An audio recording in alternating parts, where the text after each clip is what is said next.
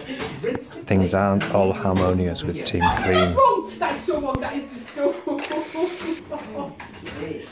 I wouldn't like to say Team Cook have had no problems this week, but this looks like a total breakdown.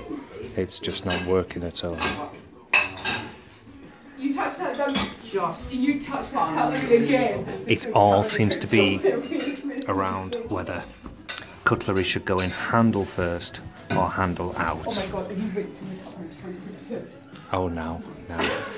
Now, You're never getting blue videoed. now there's now there's problems with You put plates. the cutlery away and there's still plates to clean. Oh dear.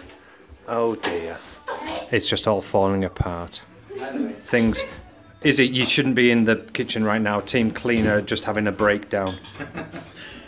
It's all going wrong. When do we have substitutes?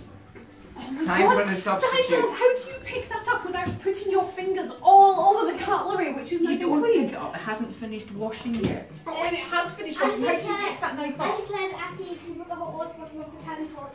Right. Thank you, Izzy. Yeah, I think I think at this point, that, like, the wrong way oh, I think at this point I should stop filming. It's about oh no,